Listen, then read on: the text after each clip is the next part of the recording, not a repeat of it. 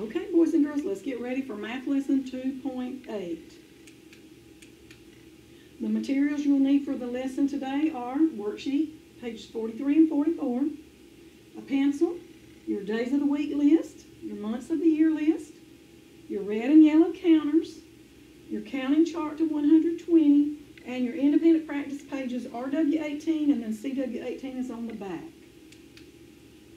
The standard for the lesson today is the student will use addition and subtraction within 20 to solve word problems involving situations of adding to, taking from, putting together, taking apart, and comparing with unknowns in all positions by using objects, drawings, and equations with a symbol for the unknown number to represent the problem.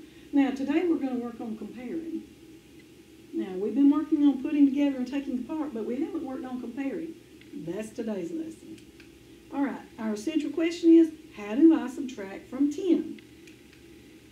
Let's start with our problem of the day. There are eight coins in a pocket. Here's our pocket. Two of them are pennies. The rest of them are dimes. How many are dimes? Write a subtraction sentence. Well, you know I love to work out a problem using a model. So let's do that. All right, it says there are eight coins in a pocket. Two are pennies. All right, so let's put two pennies in the pocket. One, two. Let's put them at the bottom. All right, now, the rest of them are dimes. So what we need to do when we get through, we're going to have eight pieces of money, eight coins in the pocket. We've already got two. One, two. Now let's just reach up here and get dimes and keep putting them in the pocket until we have eight coins in the pocket, okay? So we're going to start and say one, two, three coins, four coins, five coins, six coins, seven coins, eight coins. Now, there are eight coins in the pocket. Let's count. One, two, three, four, five, six, seven, eight. Two of them are pennies. All the rest of them are dimes. How many are dimes? Let's count. One, two, three, four, five, six. Six are dimes. Let's write a subtraction sentence. All right, we started with eight coins. Take away the two pennies. How many coins are dimes? All right, well, hold up eight. Take down two. One, two. How many do we have left? One, two, three, four, five, six. Eight minus two equals six. All right, good work. Now, let's take out our days of the week list. While you're getting that out, tell your study buddy how many days are in a week. Did you say seven? Is that what I heard? You're right. Count with me. One, two, three, four, five, six, seven. Now let's read the days of the week. Get ready. Sunday, Monday, Tuesday, Wednesday, Thursday, Friday, Saturday. Now I told you that next week in grammar we're going to learn about why we have all these capital letters here at the beginning. So that's days of the week. Months of the year, same thing. They all begin with a capital letter. How many months of the year are there? Yes, 12. Read them with me. Get ready. January, February, March, April, May, June, July, August, September, October, November, December. Okay? So there are 12 months in a year. And if we count 1, 2, 3, 4, 5, 6, 7, 8, 9, 10, August gets the number 10. We're putting them in order and we count them. August is the 10th month. Right. I, I mean October. I don't know why I'm saying August. October is the 10th month. Let's go back and look. There's October. 1, 2, 3, 4, 5, 6, 7, 8, 9, 10. So October is the 10th month. Now, let's look at our calendar. All right? At the top of the calendar says the month, October. Why do we have this stuff here, up here? Because Halloween is in the month of October. All right?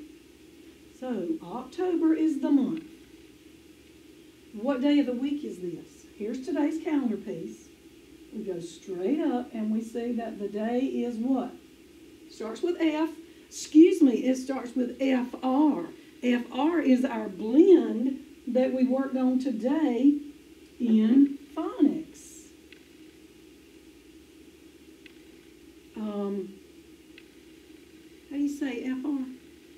For, for Friday. Today is Friday, so let's get it right here. Friday. Today is Friday. I can't see that. October what? 9th. October 9th, 2020. Okay? If today is Friday, what was yesterday? TH is um, something we're going to learn about in phonics pretty soon, too. It says Thursday. Yesterday was Thursday.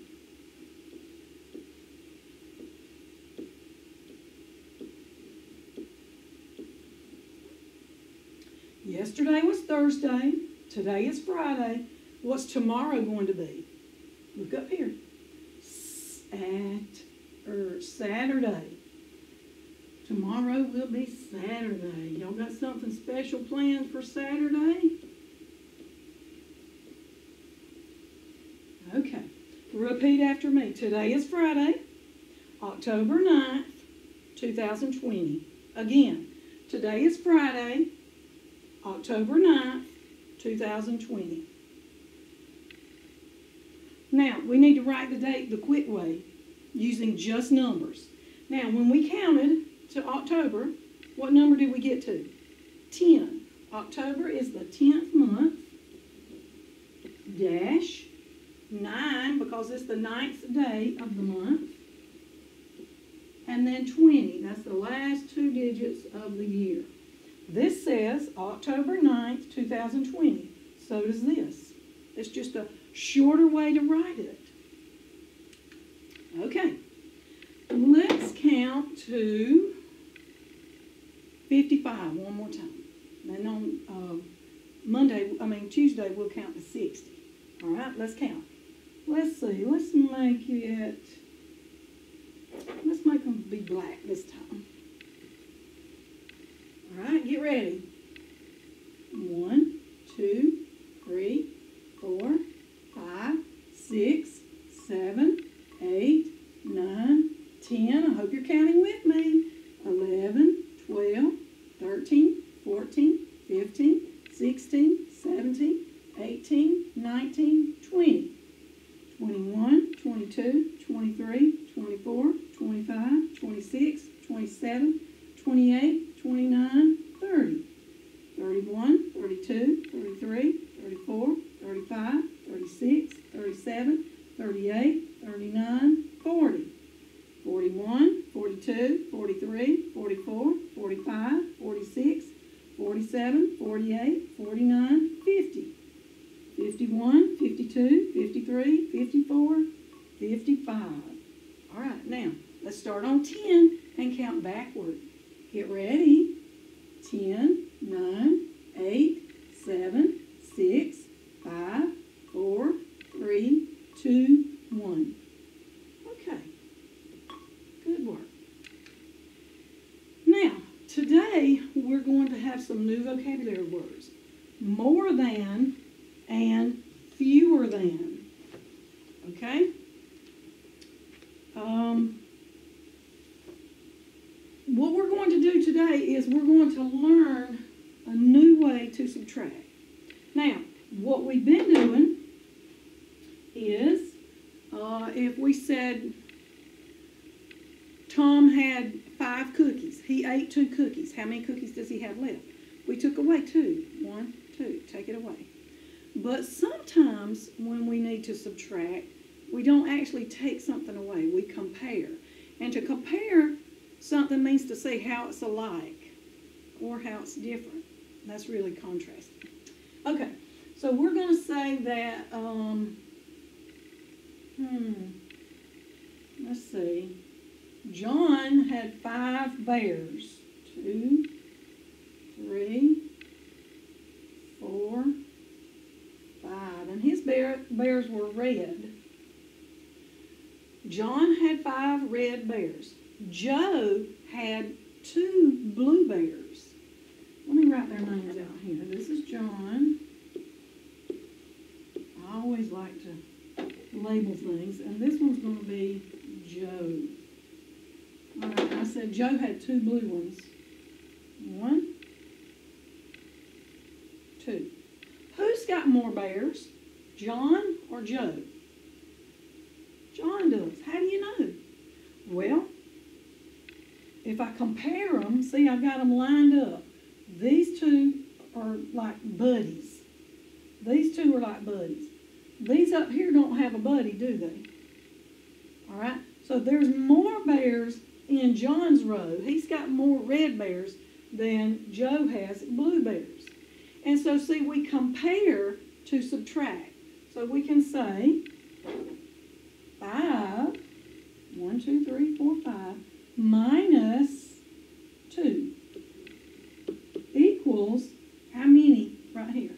See, we can't count these because this one has a partner and this one has a partner. These don't have a partner. One, two. So, John has three more bears than Joe. All right, now, one little secret I'm going to go ahead and tell you. Whenever we do a word problem and you hear somebody say, how many more something than something, or how many fewer something than something, that's a giveaway right there. That means you're going to subtract. You are going to subtract. All right, let me erase these and we'll do another one. Okay? Let's see if I can, yeah, we can do it like that.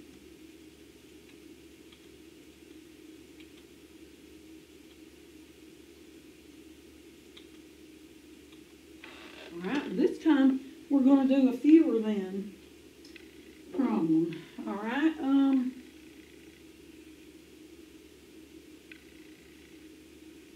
whoops, I got to put the marker down. I wasn't thinking.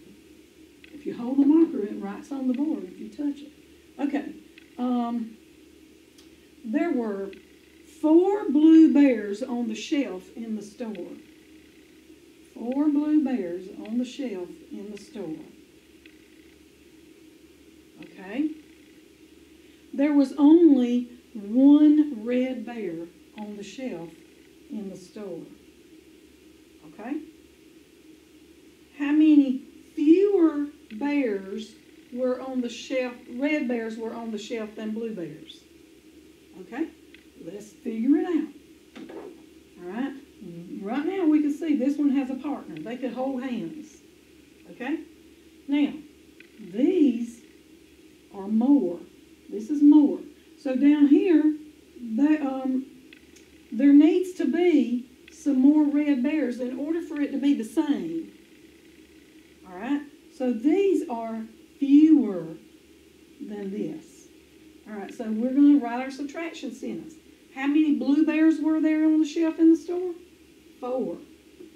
Four blue bears on the shelf in the store. Minus, we don't say take away because we're not taking the bears away. We're comparing. So we say 4 subtract 1 equals how many? So you don't count the ones that are partners. One, two, three. Or we could be counting the blanks down here up until we get to this point. One, two, three. If there were three more red bears, there would be the same amount. But because there's not, we say there are three fewer red bears than blue bears. Okay? So what we're doing is we're comparing two groups. And we're seeing how many more are in one group or how many less are in the other group. And in order to do that, you subtract. So that's what we're going to be doing today. We're going to be subtracting, but we're going to compare sets. All right? Now let's take a look. It says how many more blue fish, how many fewer pink fish. Okay? Let's look. See, they've got them lined up. When you compare, you have to have everything just neat and tidy so that you won't get out of line or, or miss some. All right, so they got them lined up. And they drew a line. See, they got all the blue ones lined up. All the pink ones are lined up. They drew a line from this blue one to this pink one. That's a partner, a buddy. Partners, partners. Now, how many more blue ones are there than pink? All right? It's the same up to this point. So we, this is the same. There's the same amount, if I put in this circle, there's the same amount of blue ones as there are pink ones. But I got some that are not in the circle. How many more blue ones do I have than pink ones? Two. One, two. Five minus three equals two. How many fewer pink ones do I have than blue ones? All right, if I had two more pink ones, is what they're really asking, then I would have the same amount. So there are two fewer. Okay?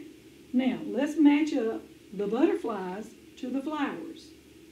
Draw lines to match. All right, let's do that. Partners, partners, partners. Subtract to find how many fewer. All right, so we have four butterflies and we have three flowers. How many fewer flowers do we have than butterflies? All right, well, see, we can we can circle this. That's how it's the same. But how many more do I need so that I'll have the same amount? I need one more flower, don't I? So there's one fewer flowers than butterflies. So we're going to put one there as well. Right. Oh, we got bugs in the next one. Okay. We have blue bugs and red bugs. Let's match them up. We'll use a different color marker. Partner them up.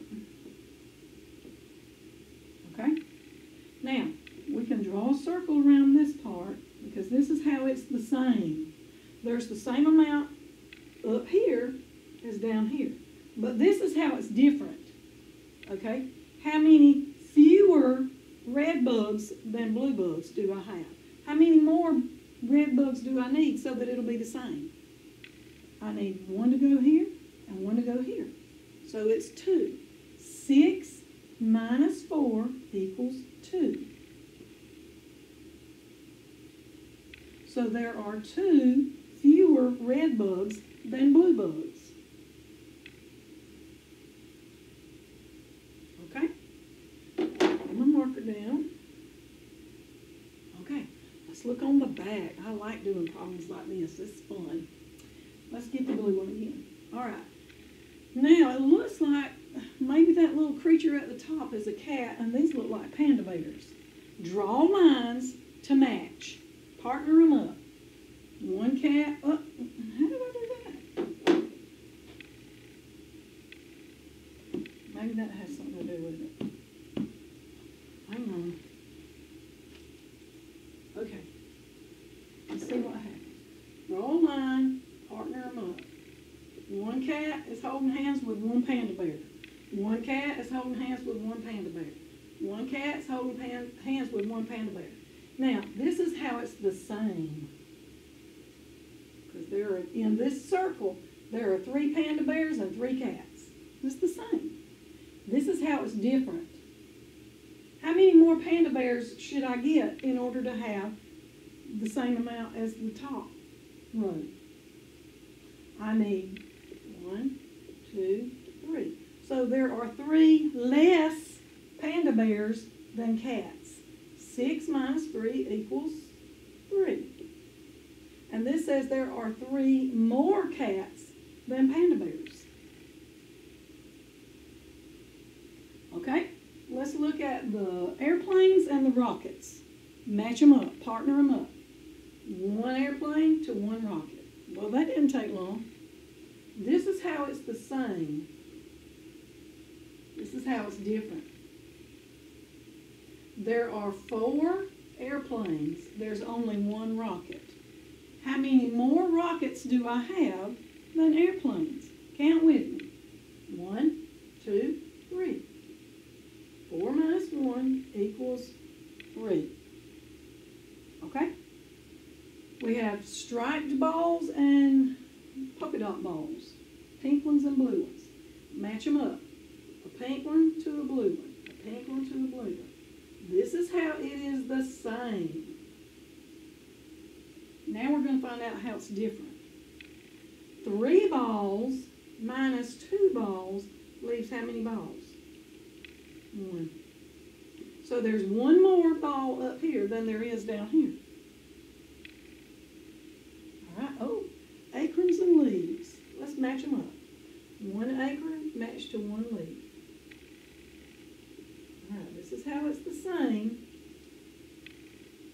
We have five acorns, but we only have three leaves. How many more acorns do we have than leaves? The ones that are not in the box. That's how it's different. Two. One, two. There are five acorns and only three leaves. There are two more acorns than leaves. We're comparing. Okay. Now we're going to draw.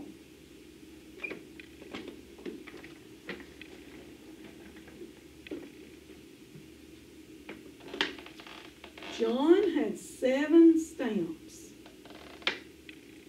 One, two, three, four, five, six, seven.